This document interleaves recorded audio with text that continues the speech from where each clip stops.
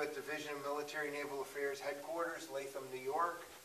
It is um, the second of, I was going to say March, April 2003. Um, It is approximately 1 PM. Uh, The interviewers are Mike Russert and Wayne Clark. Would you give me your full name, date of birth, and place of birth, please? Robert J. Ostrander, Robert Johnson Ostrander. Uh, I was born November 7th, 1923, in Walden, New York. Okay. Um, What was your educational background prior to entering military service? Uh, I graduated from high school, and I took one extra year of high school as a postgraduate. And then I worked for the Walden Telephone Company when I was drafted. Okay. Um, Could you tell me what you remember when you heard about Pearl Harbor? Where were you? What was your reaction? And I was in a movie theater in Newburgh, New York, and they interrupted the theater and, and showed things on the screen that uh, Pearl Harbor had been bombed by the Japanese and, and told us a lot of information about it, which was quite startling at the time. I got a little interesting story too. Sure. Uh, uh, when I worked for the Walden Telephone Company, the uh, people who interview you and get you to sign up in the military. I'm trying to think of the group, but, uh, but anyway, he came to the Walden Telephone Company, wanted me to sign up in the Signal Corps. And I was only 19 years old, and I wasn't quite ready. So I, uh, I told him I'd rather wait.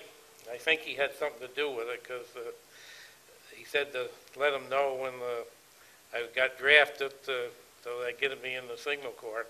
Well, within a week, I seen the papers, and I let him know, and he did all the arrangements, and I, I, I would have went to school for 50 weeks and stayed working, and then I would have gone in the Signal Corps. But I got drafted, and I went to Camp Upton. In Camp Upton, they issued me Signal Corps Excuse me, when were you drafted? Uh, It was in January 1943. Okay. And uh, I, uh, they issued me Signal Corps braid for my hat, Signal Corps pins for my lapel, and I stayed there. I shipped out of there, was supposed to go to Fort Monmouth for uh, basic training. I ended up in Atlantic City, uh, New Jersey, in the Air Force in basic training. Took basic training on the boardwalk and in the sand, was quite interesting. They reclassified me there. They have a, Uh, a switchboard at each airfield location with extension all around, and they classified me as a person that would maintain the switchboard and the telephone. Mm-hmm. And I was supposed to go to North Carolina, I can't remember the camp now, and get that training. Mm-hmm. But I shipped out, of course, when you ship out, you didn't know where you were going. I went to Camp Lee, Virginia, Quartermaster Corps, and I was in truck driver school. And I went to truck driver school for, I think it was nine weeks. And they reclassified me there as a uh, Signal Corps lineman, and all the linemen have to have truck driver's license. So I got a truck driver's license. Then I was supposed to go back to Fort Monmouth. And I shipped out of there and I ended up in Westover Field, Massachusetts, in the 880th Airborne Engineers. The guy that interviewed me says, "Oh, wonderful, just what we need. We need an electrician, but he says it's filled right now, so I'll put you out driving the tractor." So I went out and drove a tractor, learned how to drive a tractor. They were little tractors, Clarkairs they were called, not the little gasoline engines and so forth. I got woke up in the middle of the night by our first sergeant and said, "Pack up, you're shipping out." We went to Caterpillar factory in Peoria, Illinois, and went to diesel mechanic school. We uh, took a Caterpillar tractor right off the assembly line, tore it all down, put it all back together again, supposedly made all the adjustments and everything. And then from there, I went to LeTourneau factory, which is what that picture is there. Now, would you show it Yeah. in front of you? The Can you LeTourneau, Bring it, bring it back closer to you. Okay. that's fine. Okay. The LeTourneau is the big earth-moving equipment that are on the back of tractors. They make graders, and they also make the things that the tractors pull to pick up dirt and equipment. Now, Whereabouts are you in that picture? Uh, I am right there, if you can see it, okay? Now, what's interesting about that uh, is that uh, you have blacks in, in the training with you. Yes, yep. Uh, This is 1943. 1943. They slept in separate barracks and separate planes. Actually, we were in a hotel uh, while we were there going to school, and the blacks were in a different hotel. I don't know exactly where, but they were segregated. We weren't together. What, were you in classes together? Yes, we were in classes together, worked together. Mhm. No Was there ever any problems at all? or were Not there, no. There wasn't any there. Mhm. And then I got the 880th training, and uh, from there, we went to Sedalia Army Air Force Base in uh, Missouri, and we took uh, glider training, and we were airborne engineers, and we landed in gliders and so forth. We took our glider training there, and there was no blacks there. They were all there. Mm-hmm. Now, did you uh, get your glider wings? No, we did not. You did not, huh? And- Did you ever fly in oh, gliders? Oh, or- we rode in them, we didn't drive them. Yes, right. Yep, we did ride in them, and we rode them there, and we also rode in some overseas. Mm-hmm. But you never received glider wings? Never received glider wings. I didn't know, I'd never seen them, except the pilots had a mm-hmm. wing that they wore, but we never got any. And then from, we finished the training there, we went to Camp Stoneman in California, getting ready to ship out overseas. And we uh, were on the HMS Sommelsdijk, which was a Dutch freighter that was converted to a troop ship. There's a picture of that. Yeah, There is a picture of the Sommelsdijk in there. Uh, We'll, we'll show that later. Okay. And uh, that was interesting too, because the blacks were on the back of the boat, and we were on the front of the boat. And the blacks uh, did most of the KP and that type of work. And our, our guys did the uh, MPs, military police. Worst part of it is, we had to full duty down the black hole in the, in the bottom of the boat, and a lot of them got sick, and they'd go throw up the barrel, and we'd go throw up with them. But the, there was some segregation there, they kept them segregated, and mm-hmm. we crossed the equator, and all the white guys had to go through the initiation first, and then the blacks second, they weren't together. Oh, so it was separately? Yep, separately, segregate them. Mm-hmm. Yep. And all the while I was in the service, there was never any blacks in our outfits, mm-hmm. separate outfits. Now, the ones that trained with you were in a separate, did they do the same work that you did? Same but work we did, separately? And we did it together, just like going to school, actually. And uh, we worked together, no problems. Mhm. And But we didn't sleep in the same place or eat in the same place. Okay. So, uh, where did you go? Okay. It took us 55 days on board ship, the HMS Sommelsdijk, all by itself with no convoy or anything.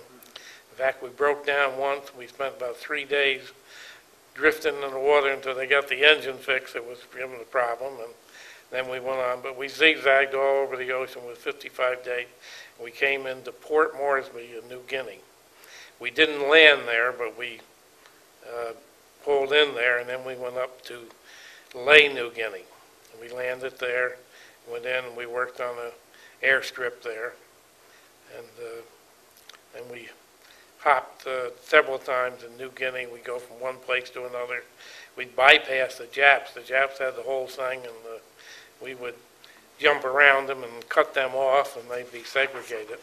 And uh, we, uh, the interesting story, the paratroopers were supposed to land at the Japanese stri- uh, airfield and capture the field and fix it so we could come in the gliders, which we did a couple times, and it worked out fine. One time, they goofed and the paratroopers missed the wrong place and the wrong time. We landed first, but we're lucky the Japs thought we were heavy equipment people, whatnot. They got it cleared out for us, so we didn't have too bad of a time. And then we were there to pick up the ja- the paratroopers when they landed.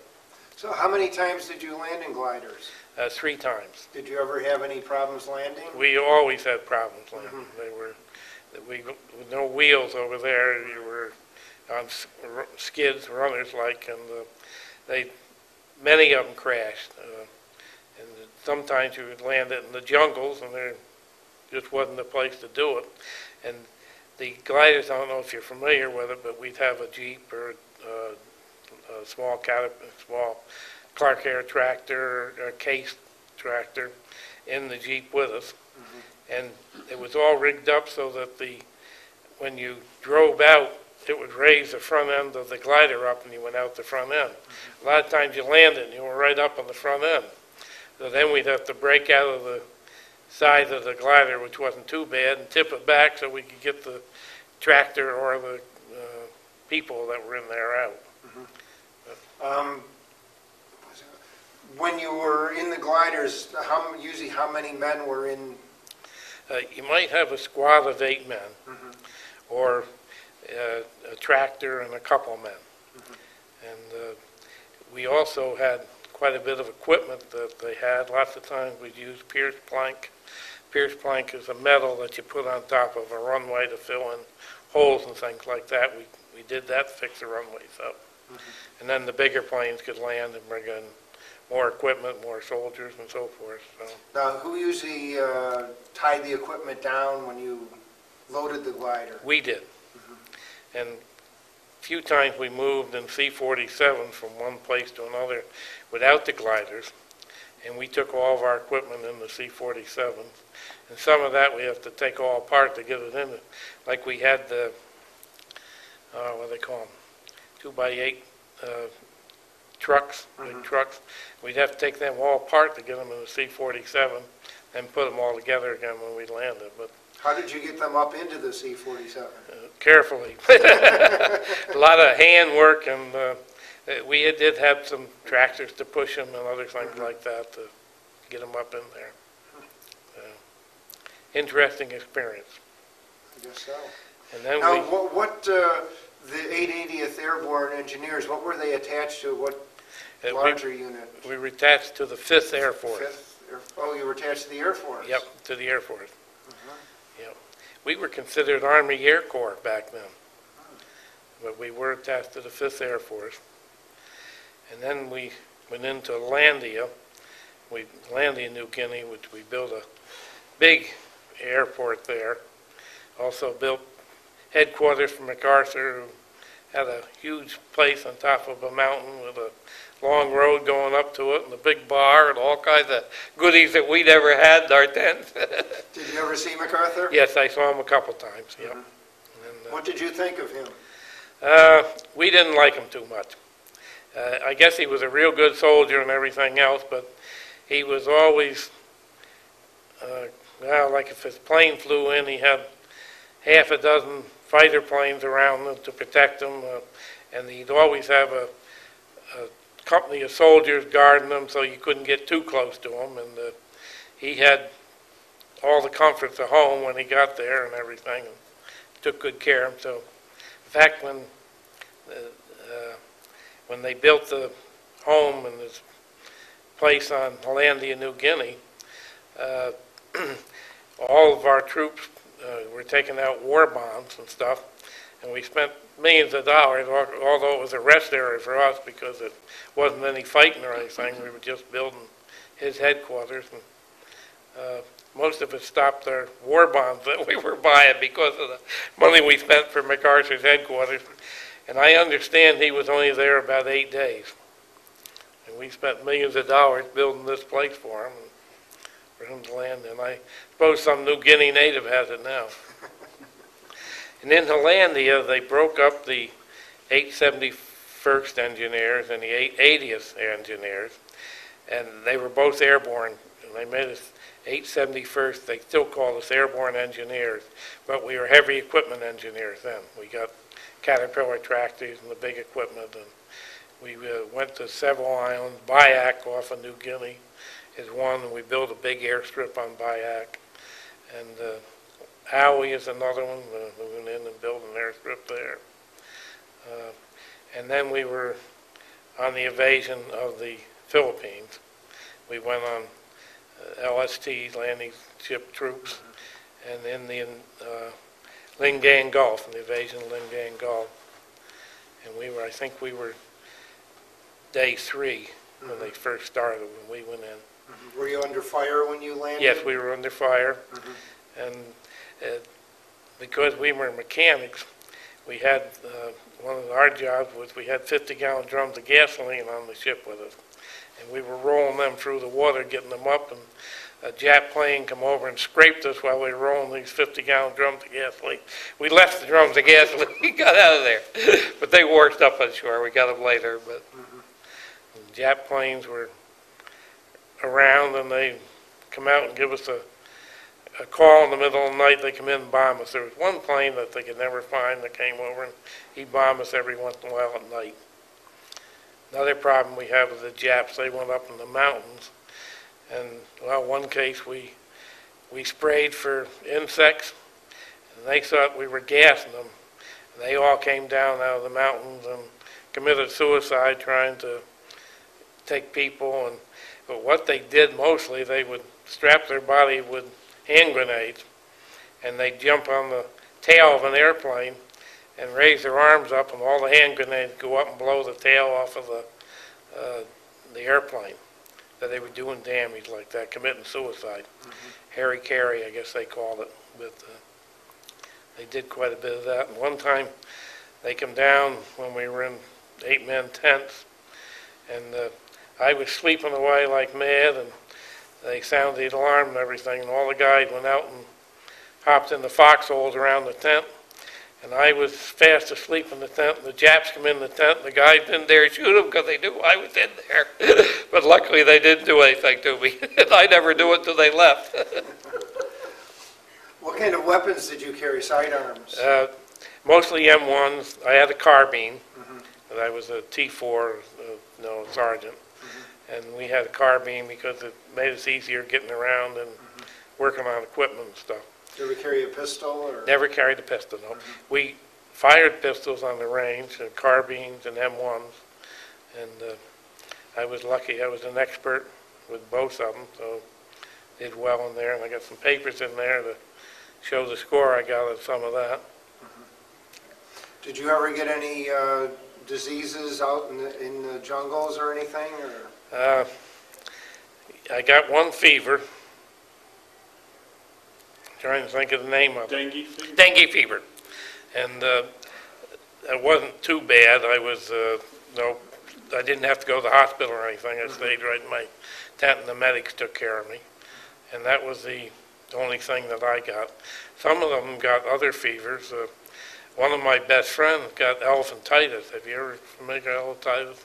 Got a good picture of that in there too. uh, That, uh, and as soon as he got the elephantitis, they shipped him right home. And as soon as he got home, the state that went away.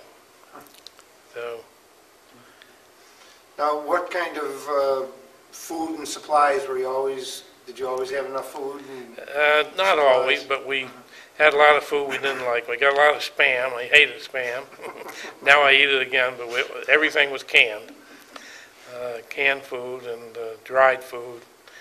And uh, uh, I, I carried a big tin can of peanut butter in my barracks, in my bag. And uh, if I ever got hungry and didn't get enough food, I always had peanut butter to eat, so I survived with that. We got our beer rations every so often. We'd go, you know, sometimes be three months before you do it, and then they catch up with you, and you get a lot of extra beer, but it was not that strong, but we still had a good time with it. uh, Now, on the Phil, in the Philippines, um, what were your relationships like with the, the people who live there? a very good relationship with them. We had a lot of things. We, uh, they had Filipinos that came to our camp, and the women did our laundry. They'd take our clothes and wash it and bring it back for us, which was something nice. Uh, in Tarlac, New Guinea, one of the places that, there was a distillery and a uh, sugar plantation. And I got real friendly with the people there, and they invited me to come. In fact, I spent a three-day weekend there one time with the family, and they had all kinds of good stuff to eat. And hundred-proof alcohol, which would kill you just about. Excuse me. Okay, um, can you think- Did you uh, get to see any USO shows or have any entertainment? Yes, yep, we, in fact, we built the stage for Bob Hope Oh. in one place over there in New Guinea, and I got to see Bob. Frances Langford was with him, and we saw him twice, uh, in two different years over there, and he was fantastic. Really did a good job. And, what, what was your reaction when you heard of the death of President Roosevelt? um, We were sorry. Mhm. And, because we saw an awful lot of President Roosevelt. And uh, we liked Harry Truman, too. Uh, He was quite good. In fact, I got a nice letter from him in the back of the book there when I got discharged, and signed by Harry Truman. And What was your reaction when you heard about the, uh, dropping the atomic bombs on Japan? we tickled to death. We were in the Philippines, we were in Clark Field and Manila, and we were preparing to go to Japan, to invasion Japan. We were going to go in northern Hokkaido. And uh, one of the biggest problems was we'd been in the tropics for two years. If it got down to 70, we got cold, and we were going to go to northern Hokkaido where they had snow and ice. And they were training us to try and get used to that. In fact, on the ship, they said we would have to get out and do exercise without any shirts or anything on to build our body up to the cold weather. And then they dropped the bombs. And the second one, they surrendered, and we had enough points to go home. They sent us home. Our outfit still went on to Japan, Tokyo, but lot, most of us had enough points, we could go right home, which was very good. Um, is there anything else you want to add to your story? Um, One thing you might be interested in, both outfits, the 880th and the 871st, have annual reunions, Okay. and we go all over United States uh, to the reunion, which is very good. In fact, this year, we go to Niagara Falls, Canada, to the 871st reunion. How long have you been going to the reunions? Uh, 1970. 1970, we started. They had them before I was involved. They started in 1950. Yeah, it started in 1950. And uh, 1970, they had the first one in Syracuse, which is closest. And our whole family went, and it was a family affair. They had a lot of things for the kids and so forth. Now, have you kept in contact with anyone that you served with personally? Yes, I have. I, I still contact quite a few, but one of the biggest problem, there was eight of us in the squad that were in the tent all together. There's only one other one left, the others have all died. And we did keep contact, close contact with them and visited them all over the United States, uh, and uh, got to know them quite well. There's one left, that he lives in Oregon, Salem, Oregon, and we've been out to see him and visit him and stay with him. Uh, So, very nice. The, the reunions we go to, there's a couple guys from New York State. In fact, the, our main officer and the, the head of our reunion outfit is from uh, Tupper Lake in New York. And we get to see him too. He was the captain. Now, did you uh, make use of the GI Bill at all? Yes, I did. Uh, I got some training with the, when when I got out of the service, instead of going back with the Walden Telephone Company where I had the job, I got a job with New York Telephone Company. And I got the training and got GI Bill, some payments while I went to that with them. I didn't do a lot of schooling or anything, but I just did that. Did you ever u- make use of the 5220 Club? Uh, No, I didn't. I- One problem I had, I, I lost my hearing in the service. We were in, uh, on the Philippines, and we were next to an ammunition depot, and the Jap plane come over and dropped a bomb and blew the whole depot up. And the guy I was with, we were working on a uh, shovel that picked up dirt, you know, the big shovel, with tracks on it and stuff. Both he and I got underneath the thing, we were protected by the thing, but it blew up all over. I lost my hearing for a week, and then it came back, uh, and that was all right. I thought I was all right, but it wasn't good, and it's gotten a lot worse since. And uh, I went, oh, it was probably about four or five years after I got out of the service down to New York City to meet with the veteran people to see what they could do to help me with that. I walked in, there was a table like this with three doctors sitting behind it. And they said hello, and I said hello back, and that was my hearing test. I didn't get anything out of it. Really? So I was a little upset with that, but that, I got along all right. So I don't get any help with my hearing aids. I gotta buy these. In fact, these are two new ones I just got. Have you been to the VA since then? Did Uh, they reevaluate it? No, I haven't. You probably You should should. look into Should? it. Yes, definitely. Okay. Definitely, yes. Do Uh, you use the VA hospital at all? I, I signed up there, and they have a record of me, and I got a pass for there. Mhm. And, uh, You should go see them. in fact, the, the one guy that's still living in our outfit was a guy who was underneath the, the shovel with us when it went off, so I got a witness. But, uh, I don't think in our, I don't know if our records would have anything about that or not. Well, I think they, they'd be able to to figure out Figure it the out. cause of it. yeah. Okay, um, how do you think, um, your time in the service affected your life?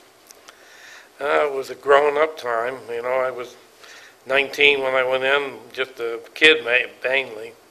And uh, I grew up and I learned to get along with people, I learned to work, I, I enjoyed the military, I still enjoy, you know, all the things you have to do in the military, which are quite strict and so forth, and I still live that way, I still kind of straight, try to be anyway. And I do attend a lot of military functions and things they have, if there's any of them around. Okay, why don't you show us some of the things you brought in? Okay. Can you see this? Oh, yes. Th- This is the 871st Airborne Engineering Battalion, and it shows the places we were at, and they list Westover Field, Massachusetts, Port Moresby, New Guinea, Tsili-Tsili, New Guinea, Nadzab, New Guinea, Gusap, New Guinea, Lae, New Guinea, Hollandia, New Guinea, Owi, which is an island, Biak, which is an island, San Francisco, which is where we took off from and came back to, Clark Field in Manila, which is where we were stationed when we got down to Manila, Floridablanca, was a Philippine island, fir- one of the first place landed, and Yokohama, Japan, was where the outfit landed uh, when they went on to uh, Japan. Now, I see uh, your name down at the bottom there. Is, is that you in one of those photographs? No, I'm not in any of these photographs, but there are people I know that were in our outfit. I got a lot of photographs of me in the book, but I, I'm not on this one. I wonder if they'd be interested, Bob, to know that a grandson did that um, of the, Oh, A grandson of one of the guys I was in the service with. And In he's fact- going, and he, you're going to, He's going to head up the reunion this year for us in Niagara Falls, Canada.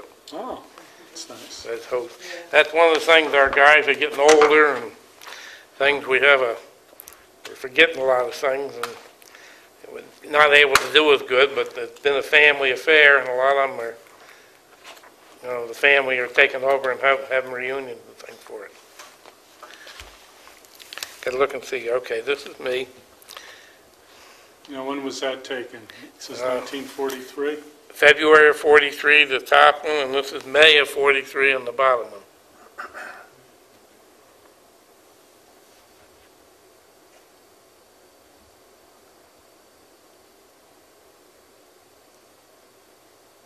Okay. This is me in Camp Lee, Virginia, May and June of 43. This is where I took the quartermaster training and truck driver license. I enjoyed that too, learned to drive the big trucks. Had a lot of fun driving around Virginia.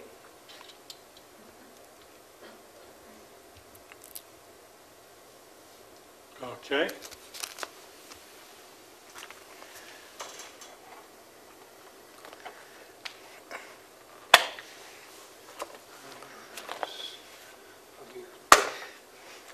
This was this the is the HMS went over on? Summertite, which is a converted Dutch freighter, which was, and the crew was all Dutch.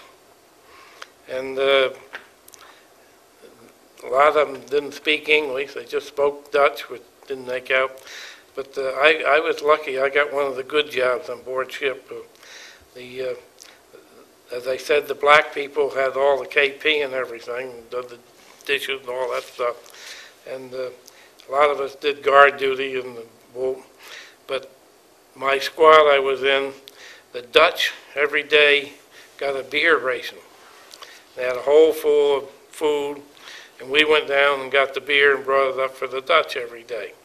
And we were able to steal a bottle once in a while, which was real good. That was good duty. Now, we'll just do some of these now. Are these photographs you yourself? uh, Yes. You took a camera over with you? Yes, I did.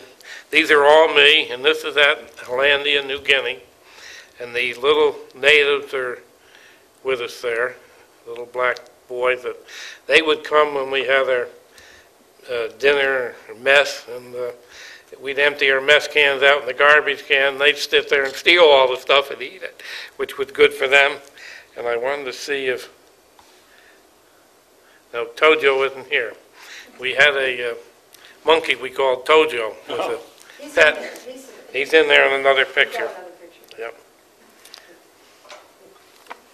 It's interesting, in Hollandia, the, uh, the monkey hated the Filipinos. I don't know whether it's because they captured them or mistreated them or whatnot. And he guarded our tent. And we tied him to the center pole of the tent. There he is, right there, if you can see it. Tell, Bob, tell him who the girl is up above. Okay. We tied them to the center pole in the tent, and if any Filipinos, sometimes they come around steal stuff out of the tent, he would keep them out of there. He'd go out and grab a hold of their legs and bite the daylights out of them and keep them out, so he was our guard. This is Paquita Rose. She was the daughter of the, I told you about the distillery people in Tarlac, uh, New, uh, Tarlac. She was the daughter. And their mother and father trusted me very much with her, where they wouldn't trust a lot of the other troops. And I was harmless too, so I got to know her very well. That's what he says, right? So we had a lot of good experience. That, that from the original negative of the Oh, flag in really? Iwo Jima, yeah. We had a photographer in our outfit from New York City, and he took all kinds of big pictures, and he, uh, he swapped them with other people that had them and made quite a collection, and I was lucky to get a bunch of his collections. Well, Yes. I don't know if we'll do all the, Uh, I don't think we'll show this picture, but th- this is interesting. Oh, and I missed it. What's, Ah. one more, back over. That's the elephant. Yeah, this one here. Uh, At Hollandia, New Guinea, a plane went down up in the mountains, back up in the Owen Stanley Mountains. And uh, we went back up there and we found this Indian tribe up there.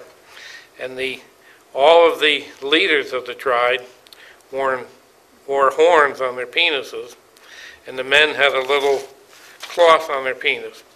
And it's quite interesting, they left their testicles hang down and just had their, penis there. but I think the men were bragging, some of them had the horns up in the air instead of down. But they were headhunters originally, but they didn't bother us a bit that way. Tell him what somebody said when they saw those pictures. They thought, Oh, I knew you could do a lot of things, but I never knew you could blow a horn.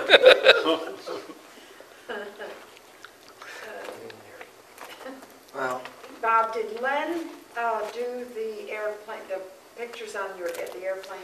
Get my hat over there, can you, honey? Yes, uh, well, he done quite a few of them. Len Birnbaum, who's in Illinois, and still alive. He was an artist, Uh-huh. and he painted a lot of the pictures on the airplane. And he headed up this reunion in Chicago that we went to, and he painted our symbol of the 880th Airborne Engineers. And he has a big picture of it, and that's the symbol that we He had. also did some of the It's a paintings tractor with wings. Oh, on that's some of nice. the airplanes. Now, are the- is that why you have these photographs in here? Did he do some of these? Uh, Some of the ones on the planes, yes. Uh, Well, maybe we could just, now, these were some of the planes that were on one of the bases when you were there? We were usually at an airfield, and these planes were always on an airfield someplace. And uh, he did some of them, but a lot of them were other people. Uh, He did our C-47s and things that we had, but these are mostly all bombers. But he did do a couple of those, too. Did you fly in the same C-47 all the time then? Or- Not the same one, they get different ones, but we uh-huh. flew in C-47s all the time. Uh-huh. Got another set of them here if you want to see them. Okay, sure.